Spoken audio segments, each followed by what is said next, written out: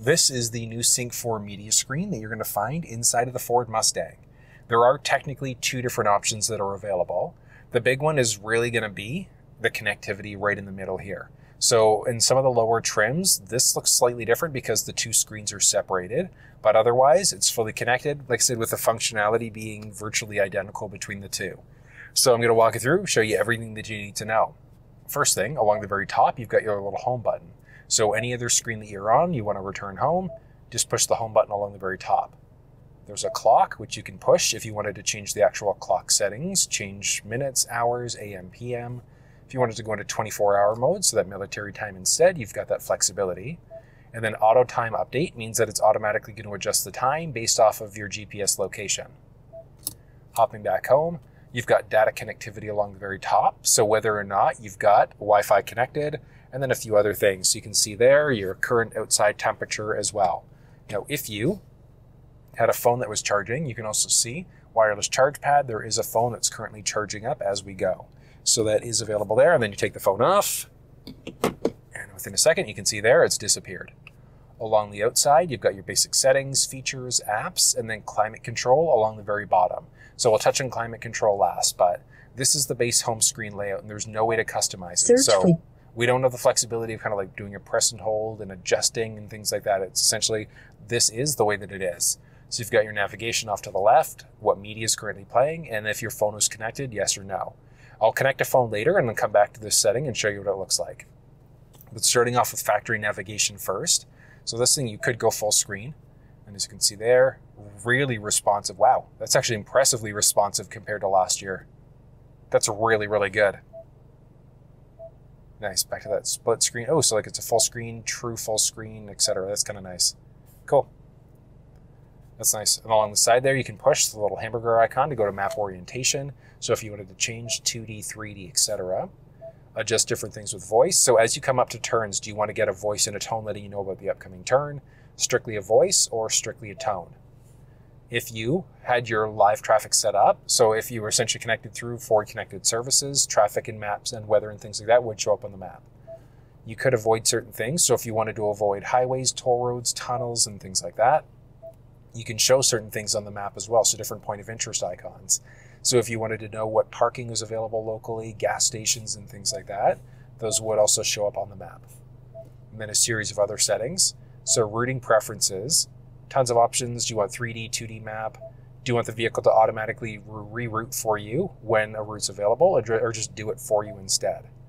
Do you want the fastest or the most eco-friendly route? Do you want to have breadcrumbs on, yes or no?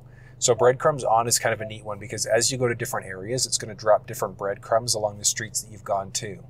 Very useful if you're new to an area, you want to see what areas you've gone to, etc. Predictive destinations, we haven't been to a destination, which is why it's grayed out. You've got privacy info about, and then you've got advanced notif- uh, advanced navigation features as well. So okay, yeah, so I figured. So the, some of the ones that were grayed out, you do need to be fully active in order for some of these advanced features to actually show up. But it's your basics there. You do need to be connected through a Ford Pass account in order to be able to do it. So you have to hook up through your cell phone in order to set that up.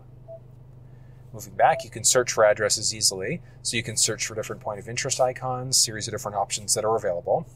You can also type in and search by GPS coordinates. So if you wanted to, you can go latitude first, longitude second if you wanted to search that way. Or you've got a few options, ABC. You can start typing in an address. Give it a second to populate. You can click through. There you go. If your phone is connected, you could call. You could save it as a favorite if you want to, or see what parking's nearby. Along the screen itself, you can see what routes are available. So it's giving us two available routes. You can select whichever one and then you'd hit start. You can also tweak out to a split screen there instead, or just Obey hit start. traffic laws. Be alert and use voice commands while driving. Why, thank you. Now, inside of a cluster screen, it actually does show the little direction pad along the very bottom. It's going to look slightly different depending on your screen layout, but that is nice. It's good. All right, and then along the side there, a few other things. You can add in a destination along the way. So let's say if you wanted to get to that address, but first you wanted to stop for gas, you could select that, and then it gives you the different waypoints that you're going. You're going to hit add to trip, and it's added that second stop into the trip itself. You could then go and see your full route overview if you wanted to turn off notifications, or you can cancel the route. So you can either go to the next stop if you've got multiple stops set up, or you can just cancel the full trip. And that's canceled it out instead, and then you can resume if you wanted to go back to your trip. So it's straightforward. You can look at your recents. So whatever destinations you've gone to recently, you can look at your saved destinations on top of that. So a big benefit is that you could set up your home or your work address. And one of the big benefits there is that if you push the voice command prompt on the steering wheel, you can say things like navigate home, navigate to work, whatever the case may be. It'll go to whatever address you've set up there. So very straightforward, but that's factory navigation. And then if you didn't want to use factory nav, you could hook up through your phone if you wanted to do on your iPhone or your Android instead. But that's the basics there. Next up is going to be audio. So audio, you've got a series of different sources. So AM, FM, Sirius XM, and Bluetooth. If you had a USB stick with MP3s, that would also be available there as an option if it was hooked up. If you were hooked up through your phone over either Android or iPhones, so if you were hooked up through Android Auto, Apple CarPlay, those would show up as available entertainment sources as well. So the entertainment sources that you get are going to depend on what you have connected to the vehicle. So it'll just take a second. You can see there, USB device connected. But you go to AM, FM, whatever the case may be, you could easily tune to different stations that way or do kind of like a finer tune. If you wanted to save in a preset, so you can see there we've got a series of different presets that are available, mix of AM, FM, Sirius XM, etc. So all you do is if you wanted to save a preset, so that one's already saved in, you could just press and hold and over to over, overwrite it. Or if you've overwritten it accidentally, just go back, press and hold in order to save the new preset in. You can direct tune a few different ways. You can tune this way to the next station, do a fine tune that way. You can also do a direct tune instead. So whether you're on AM, FM, Sirius XM, etc., you could direct tune a few different ways if you want to. And then, like I said, if you wanted to save any presets, you just go to any of the available spots, press and hold, and that's going to save it in. Pretty straightforward. If you go sources, Sirius XM is going to give you a few other options. So along the very top, there's a little notification bell. So whenever the artist or the song comes on, you can have it set up so it's going to notify you when those are available or when they're playing. From there, you can also create a unique listener. So if you've got multiple people driving the vehicle, you can have this set up to create a unique profile experience. So you can look at your favorites, you can customize a listener, create a unique listener. Your listener settings, you can set it up so if you wanted to block explicit content, tune to start, etc. And then you can also change out your preset pages. I always just recommend, especially if you're a big audio listener, go to the max number of pages. And the big reason why is because when you go home, all of a sudden, you've got 30 individual presets there, and they're all a mix of AM, FM, Sirius XM, etc. Pretty neat. You could tweak out stations that way, play pause because it's Sirius XM, start the song over. And then if we were, let's go back to FM for a second. Actually, we could have done that on where we were at Sirius XM, but we go to tone settings, so treble, mid-range, bass. You're typically going to find it like this, but I recommend dropping the treble by two, cranking the bass by two to three. That generally gives you pretty good audio inside of this thing. Moving back, balance and fade.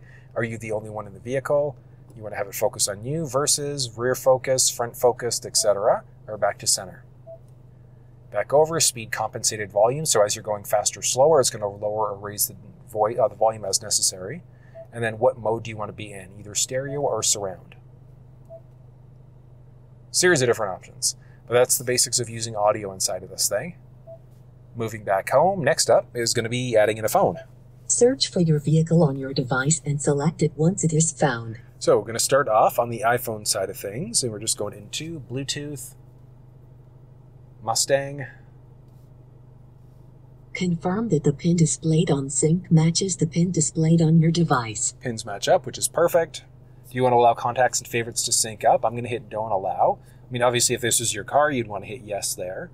If you accidentally hit no, For your safety, please stay alert to changing road conditions and use Sync's voice activated features while your vehicle is in motion. there we go. So if you've accidentally hit no there, just delete the phone from the vehicle and then the vehicle from the phone, and then just re add it again, and it'll give you the option of being able to set that up.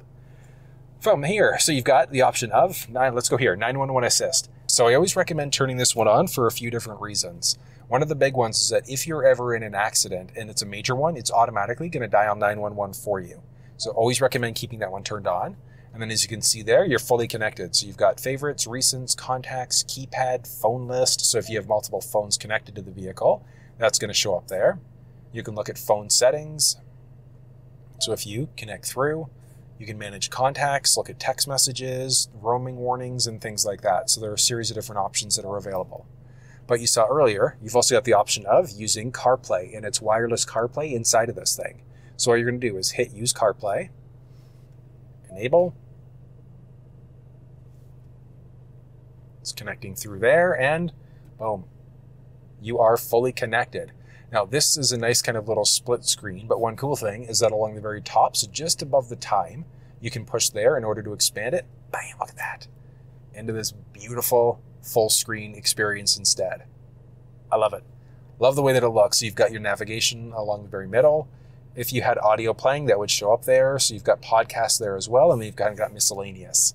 Along the outside, you've got your current phone status, so what your current charge levels are like.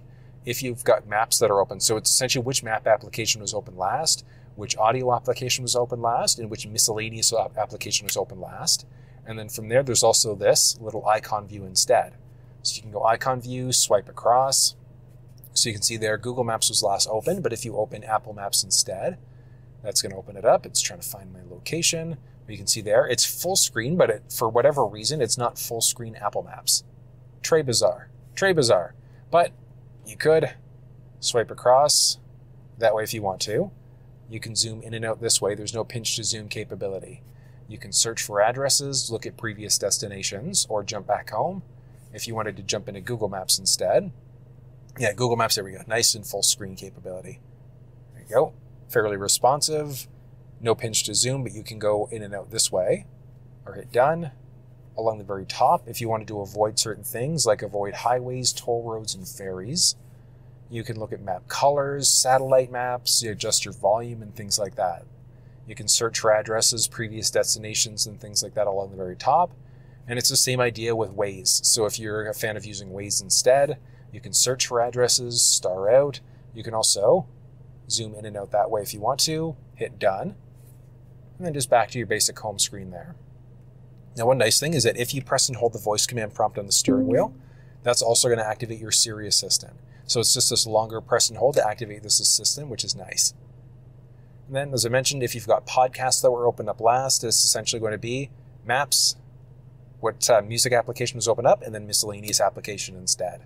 So very straightforward using this, but I mean, you saw it there. If you wanted to kind of do a little split screen instead, you would have that flexibility, and then you can kind of go up and down between your different options there. So if you wanted to have CarPlay going while you're listening to your radio, you would have the flexibility to do it. Now, one nice thing is that through your screen, or through your phone, I should say, through the screen general settings, if you go to CarPlay, click on your vehicle, you can turn CarPlay off, you can forget it, or you can customize it. So let's say if you're a bigger fan of maybe listening to your podcasts and you want to have your audiobooks up there as well as maybe Google Maps, just do a press and hold to drag and drop, or you can also delete. So if you don't want any of those applications, you can remove them and it gets rid of them from the screen, but it adds them up back into the very bottom. So you could add them back in if you want to. And then if you've done too much and you're not a fan of what you've done with the changes, along the very top on CarPlay, you can hit reset, reset layout, and that brings you back to your factory default screen there instead. So it's that simple setting up an iPhone inside of this vehicle. All right, and next up, let's set up an Android. So setting up an Android device is the exact same process. So I mean, obviously as of right now, you've got the phone connected. So if we were to click back through, it would launch me back into the iPhone. So what you're gonna wanna do, if you go into settings, phone list, you've got the iPhone that's been connected. So as of right now, we want to add in a new phone. Search for your vehicle on your device and select it once it is found. You're going to open up your other phone, and as you can see there, Ford Mustang. So we're going to connect there. Do you want to allow your contacts to sync up? I'm going to hit skip, and same idea. I'm going to skip the SMS messages. Fully connected, so the device is set For up, ready safety, to use. please stay alert to changing road conditions and use Sync's voice activated features while your vehicle is in motion. Why, thank you. And the device also supports wireless Android Auto, so let's enable that.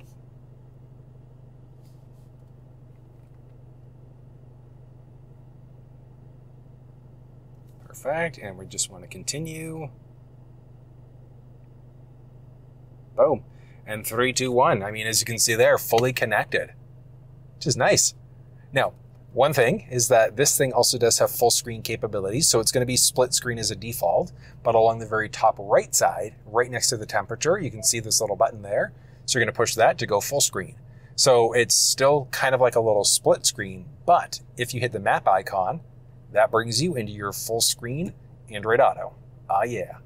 Nice pinch to zoom capabilities, fairly responsive, which is good. Drag and drop around. You can search for addresses, and then very similar to what we saw on the iPhone side, you can push there if you wanted to avoid certain things, so route options, so avoiding toll roads, ferries, and things like that. You can also mute out notifications, see route options, there are sorry, different perspectives. You can, plus or minus this way as well. Along the side, you can see what's going on with your current phone status, maps, phone, things like that. And then you can also turn on your Google Assistant that way. You can also press and hold on the steering wheel in order to activate your Siri or your Google Assistant that way instead. You can push this button along the very bottom to go to your little split screen or to your icon view. So you can see there Google Maps, weather, customize, and a few other things. So you do have the flexibility to customize this thing a tiny little bit. Not quite as much as what you saw on the iPhone side, but it still does give you a few customization options. So on your phone, all you're going to do is search for Android Auto, and you're going to go into Android Auto settings. Once you're in settings, you can see there a series of different things that are available. So privacy options, change layout, you've got taskbar widgets, Google Assistant, Hey Google, series of things. And then you've also got the flex. Ooh, haha. it's because I said the, the word. I said this word. But you can also customize the launcher. So as of right now, you don't have the flexibility of, yeah, Waze is installed on this phone, but it's unfortunate it's not available to be able to add on here as of yet. But you can customize the launcher here if you want to. So very similar to the iPhone side of things, if you want to have phone and things like that first. The only kicker is that any changes that you make here, you unfortunately actually have to get out of Android Auto, so shut it down and then relaunch it in order for any changes to take into effect. But you still do have that flexibility. But I mean, it's nice. Google Maps, really nice. Love the pinch to zoom on there, super responsive. It's great that you've got the flexibility of going either full screen or split screen, like what we saw on the iPhone side. And then you can also go back home, go into settings, phone list. And then this is one really cool thing. So if you were, let's say, go back to your phone itself, you're connected to the Samsung for both your phone and for audio. But let's say if you have one phone with all of your music and one phone that you want to have your phone connected to for phone calls, you've got that flexibility. So you can kind of do like a mix and match between any of these four. It can either be Android Auto or Apple CarPlay, not both, but you can have any of these four set up for either phone. So if you want to have one phone connected for both the phone and for the audio, you've got that flexibility. Or if you just want to have one phone connected for audio, for the phone, etc., you would be able to do that. Really neat. You can look at phone settings, you can delete phones, or you press this one. So straightforward. It's nice.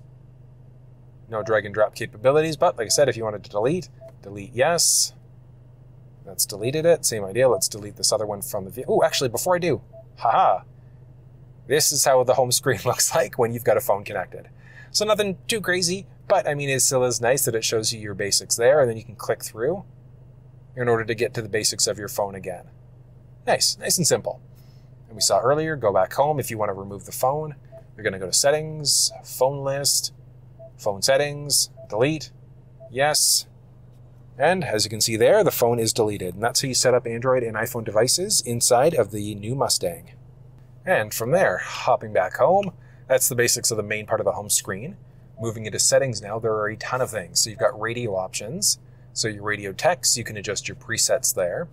You can add in a phone, look at sync navigation. So that's how you get into your factory nav with all of the options that we've already seen. So avoiding things on the route. So like highways, toll roads, tunnels, and things like that different sound settings that we've already seen, so adjusting your tone settings, balance and fade, etc. Different vehicle settings, 30 minute max idle. You want to make sure you turn that one off if you're going to a drive-in, so the car is just going to stay on. Rear occupant alert is going to remind you to check the back seats just in case. You want to make sure you haven't forgotten a kid or a fur baby back there. Alert detections, easy entry exit. When you've got a power seat, with this thing turned on, it's essentially going to lower the seat and back it up so you can get in and out a little bit easier.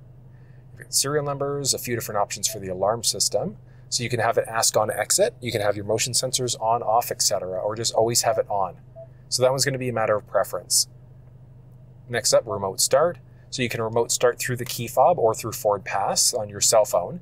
You can turn off the whole system if you want to, but when you remote start, what happens? Do you let the vehicle determine what the climate control settings should be? Do you let it determine if the heated seats, ventilated seats, or the heated steering will come on? And then how long do you want the remote start to last? So 5, 10, or 15 minutes. So you can actually use the key fob in order to roll the windows down. So let's hop outside and I'm going to show you how that process works. Taking a peek at the key fob for the Mustang. So it's unchanged relatively from the 23 to the 24 model, unless you've got the active valve exhaust, in which case there would be an extra button, so you'd be able to essentially like turn the exhaust on without starting the car. So kind of nice if you're at shows and you want to showcase what it sounds like. But for most people that don't have active valve, this is the way your fob's going to look. You've got the unlock button, lock button, remote start, trunk release, horn or panic alarm, and then the emergency access key. So if you want to lock the glove box or if you want to unlock the side door in case the fob's died, that's where you're going in order to make it happen.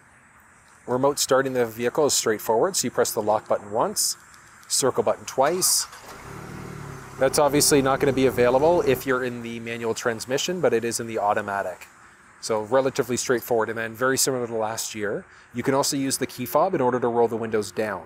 All you're going to do is press and hold the unlock button twice. On the second button press, you're going to hold, and then, watch this.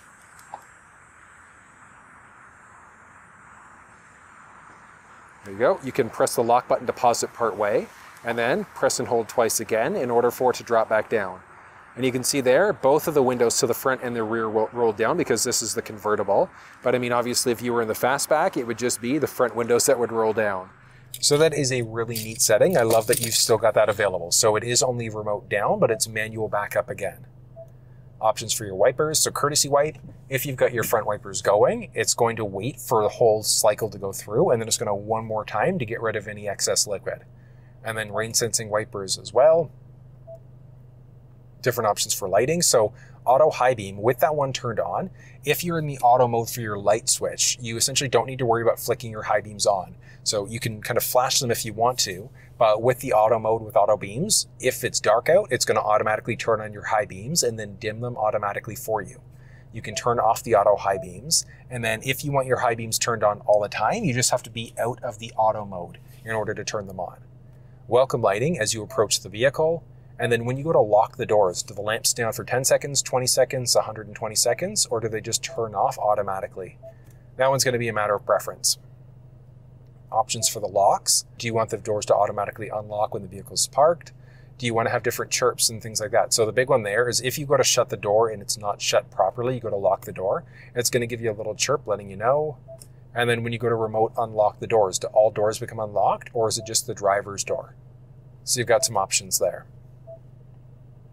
Tire mobility kit, the Goop is technically good for four years. It's going to tell you that you need to replace it.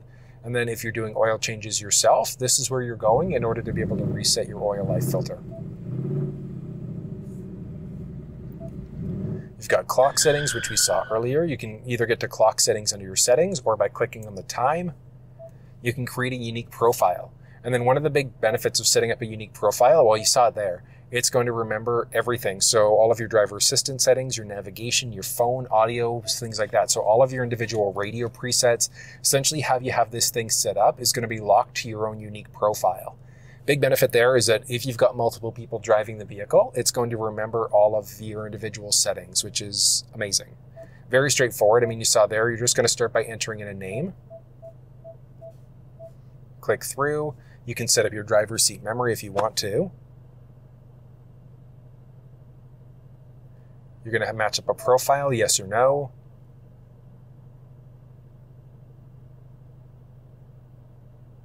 And there we go. So it saved the profile for us. You can click through, you can add in a key fob, or you can delete the profile. So like I said, big benefit of setting up a unique profile is as multiple people are driving this thing, it's going to remember the majority of your settings, which I mean, I, I love that it's available. Series of general settings, which nothing crazy. You can change it out to English, Spanish, French You can change it out to either Celsius, Fahrenheit, and then these numbers are going to be dynamic just based off of yes, you can see miles and liters, etc. Just whether or not you're in miles per miles or kilometers. So you can also kind of see it right in the cluster screen there as well. As I switch between kilometers or miles, it's adjusting that out. Change out your tire pressure units, the beeping that we're getting. You could disable that if you want to. And then you can reset a few things. So you can reset FordPass or perform a full factory reset. So if you're selling your vehicle, that's where you're going to make it happen. From there, series of options for the instrument cluster. So you've got the flexibility of choosing screens. So if you want to, you can show trip one counter, two counter, and a few other things. That's going to adjust what's going on inside of the cluster when you push the up down arrows on the actual steering wheel itself. Next up, center display. So as big, as bright as this display is, if you find it to be a little bit too much, you can go to a calming screen instead. Button press to bring it back to life, and then you can also adjust the screen brightness. Got some connectivity settings. Big one here is going to be Bluetooth vehicle name. So if you wanted to change the name of your vehicle from Ford Mustang to somewhere else, that's where you're going to make it happen. So connectivity, Bluetooth, etc. The, the other ones here, not as big of a deal. Like Wi-Fi, you do have the option of connecting over Wi-Fi if you wanted to do all of your updates that way. And then the other one is going to be vehicle hotspot. So the vehicle does have the option of being used as a mobile hotspot for a number of devices, but you need a data only plan in order for that to work. You do technically have it available as an option though, with a series of different settings. So you can change out your network name, password, you can kick individual users off and adjust profiles and things like that. So, I mean, if you're going to be using the vehicle as a hotspot, yes, I mean, you could just toggle this thing off if you want to, if you know you're never going to use it different options for mobile apps. So certain ones will only work via USB. Software updates can also be done automatically. I always recommend just turning it on automatically, but have it custom and have it later on at night. So, I mean, this is actually pretty nice. So the default there, yeah, just like one o'clock in the morning, because it might take like three, four hours for the updates to download and then install. So definitely recommend at least making sure these things are turned on automatically, but scheduling it for like four or five hours when you know the car is going to be sitting idle. So ideally at home overnight while you're sleeping, etc. Ford Assistant. So you can push the voice command prompt on the steering wheel if you wanted to activate your assistant. So you'd be able to do things like play Bluetooth audio. You can also change to different stations and you can navigate using your voice. You can even adjust your climate control settings using your voice. So there are no more physical climate controls, but you could turn on your heated ventilated seats. You can adjust your driver passenger side, so your dual zone climate control temperatures and things like that. Turn on or off your heated steering wheel, etc., all using your voice. And then you can push the voice command prompt, or you can have it listen for a wake word. So let's say if you had it listen for, okay, Ford. You can see there the voice assistant pops up instead. You can have an advanced mode, which means you won't get as many notifications phone confirmation. Do you want to call such and such person? Yes or no? And then the command list. So whether or not the command list shows up, that's the command list. It's going to be a matter of preference. And then voice command help is everything that you're able to do. So I honestly just recommend playing around with this for a little bit because you can do so much. But get to know the basics of what you can do because I mean the voice assistant inside of this thing is really, really good. Next up is 911 Assist which we saw when you connected a phone initially. So as long as you've got 911 assist turned on and a phone's connected, if you're in a serious accident, it's going to automatically dial 911 for you. And then there's also valet mode. So valet mode is a nice one because enter in a nice difficult password. Don't use 0000, try something unique, but it's literally locked everything there out with the exception of climate control. So you can't access anything until you re-enter that four digit number again. And then the only other thing to point out, you've got your basic apps along the side, which nothing really crazy there. Android Auto, Apple CarPlay, and then all of your different climate control settings. So if you've got heated ventilated seats, you could toggle on and off as you go here. You can turn the whole thing off, adjust out, and that's the same for the driver and the passenger side. And it's the same thing with the climate. So you could drive it, you can drag the climate this way if you want to, or just do a plus and minus this way. Or, I mean, you saw earlier, press the voice command prompt to adjust it. You can turn on the heated steering wheel. You can adjust fan speed, again, plus or minus, or drag it up and down. And then you can have your auto mode going. And then whether you want this going to, nope, your windshield, face, feet, some sort of combination. You can turn the system off, air circulate, max air C, max AC, or dual. So if your passenger side was set up to something different, if you hit dual, it essentially set. Ooh, course it went away. If you hit dual, it defaults the passenger side to whatever the driver's side is set up to. Then you've got max defroster and then your rear window defroster as well. Down the center stack, you've got your push button start, auto start stop system, and then your My Mustang mode, which gives you all of these other options. So you've got track apps, we've got your different acceleration timers, brake performance, lap timers, and line lock. Oh, yes. Really useful.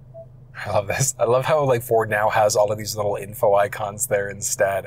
So if you want to do a burnout, this is where you're going to make it happen.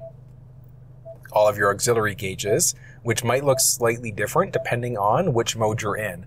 And then you can push this button along the very bottom right side if you wanted to adjust things. So if you wanted to show, I love this, so many different options. So I know the last gen Mustang had a few gauges that like physical gauges that were available along the top, but having the option of going through all of these different options instead, I think is pretty neat. Like even when you're in this larger screen, you can kind of adjust out to individual options. there you go. That's a good setup. So you've got a ton of different options that are available here as you go. Nice. Oh, that's really cool. Squirrel, moving back custom mode, series of other ones that are available here too. So you can create your own unique profile. So actually, wow, six individual profile settings where you can set up different things. So what mode do you want to be in? So your base drive, do you want to be in normal mode, sport, track mode, drag mode, slippery, snowy conditions, etc. That's really cool. And then you can adjust each individual. Oh, okay. Okay, I got you. So you can kind of customize things a tiny little bit. There you go. Yes, you're in your normal mode. Oh, I got you. So you're kind of like your base drive mode and then your individual mode for everything else. Ah, that makes more sense. Okay, you're in sport mode of sport steering, traction control on off, auto start stop on off, and then which cluster screen setup do you want? Normal, sport, calm track, or classic Fox body instead? So it is kind of cool. You've got the flexibility of adjusting this out a little bit and you can have it permanently lock into place if you are a bigger fan of a certain look. So if you prefer that calming screen, focus on the speed or the track mode there instead, you would have the flexibility of being able to lock that to an individual profile. And I mean, as you saw there, you can create six individual profiles instead. Now, the one thing that this thing is missing inside of the pony mode would be for your active valve exhaust.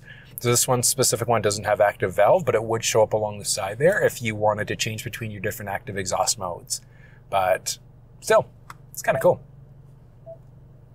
It's nice. Custom mode. I like that. I like that you can customize it. Customize all of the different colors there as well. So your primary versus secondary colors. Nice. Ambient light. Ooh, that is a boatload of other choices for ambient light too. That's really neat and it's going to show up different parts of the vehicle. So, like by your feet are going to be one of the big ones inside of this Mustang, which is kind of nice. Sweet. And then there's also a cluster theme, so you can have it match your drive mode. You can have it in normal, sport, track, calming, etc. So there's a series of different options that are available, and it tweaks out the overall look of the cluster screen itself, which is kind of nice. There are a series of different features that are available. Starting off with driver assistance, you've got auto hold setting. With auto hold turned on, what that's going to do is if you're in drive and you come to a stop, take your foot off the brake, it's going to hold you in place. Cruise control, few different options. You can go to like a normal cruise control instead, and then adaptive with lane centering. So that's the one that's going to keep you perfectly balanced in your lane. Predictive speed assist has a few other options too. So predictive speed assist is an interesting one because as you come up to turns, it's automatically going to help to slow you down. And then if the speed changes, so let's say if you go from like a 100 row down to an 80, if you've got your tolerance at a level set at zero, it's going to drop you from 100 down to 80. And then the other way works too. So if you've got adaptive cruise control turned on and the speed goes from 80 to 100, it's going to automatically increase you to 100. But it's all based off of your tolerance level. So if you've got your tolerance level high or lower, so let's say if you've got it at 10 and it drops from 100 to 90, there's going to be no change whatsoever in your speed. But if you've got it, let's say at zero, and it goes from, like I said, 100 to 80, it's going to automatically adjust your speed out that way instead. It's a very interesting way that this works, but you don't have to use the adaptive cruise system if you don't want to. It's just a really nice one to use. Speed limit assist. Eh, I typically, let's say, let's turn that one off and won't get any sort of speed warnings or anything like that. But if you're going too fast, it can let you know depending on how far over the speed limit you're going. I just personally recommend keeping those ones turned off. Lane keeping system works three different ways, the same as last year's model. So way number one is an alert. So if you start to veer over into another lane without signaling, it's going to shake the steering wheel, almost as if you're going over a rumble pavement. The aid is actually going to nudge you back into your lane, and the alert and the aid are going to do both. So it'll give you a little bit of a steering wheel shake, and it'll nudge you back into your lane. It's not going to turn on your wipers. That was just me touching it accidentally. And then the alert intensity is the intensity of the steering wheel shake. From there, you've also got your pre-collision assist system. And same thing. So a few different options. You've got the option of having the vehicle help you out automatically braking. So if it recognizes there's a potential collision, it can brake for you. It, there's also evasive steering, and that puts the steering wheel into like a hypersensitivity mode to help you get out of a potential obstacle or a collision easier. And then the sensitivity of that alert. There's also exit warning. So with that turned on, it essentially utilizes the blind spot monitoring system to let you know if you're potentially going to run into an issue when you go to open your door. Rear view camera delay, eh, no biggie. Blind spot system. So if somebody's entered the blind spot on either side of the vehicle, side view mirror is going to highlight to let you know. Cross traffic alert. So if somebody's coming perpendicular, so from the left or right, it's going to let you know of a potential collision. It can actively brake for you as well. So if you're backing up and someone's behind you that you don't see, it's going to help brake for you if somebody's coming from the left or the right. Driver alert. If you start to veer over too many times without signaling, it's going to tell you you should probably take a break. You can edit out a favor button, so that's another button down the center stack, and you can either have it turn on the auto hold setting or your calming screen instead. And the calming screen is the one that essentially just puts the screen into like a sleepy time mode instead. So your calming screen is that one there. Bringing this thing back to life, you can also edit it out to go to one of the other options. And then there's also a fully digital owner's manual. So it is nice because, I mean, as there's a lot of information to go over here. And if you start getting weird messages in the cluster screen, you're not really sure what it can do, or if you don't know when you should maintain your vehicle, like maybe you don't know when you need to go for oil changes. So just search for oil change. Of course, did not yield any results. That's outrageous. Okay, let's try oil. There we go. Okay, perfect. That's what I'm looking for.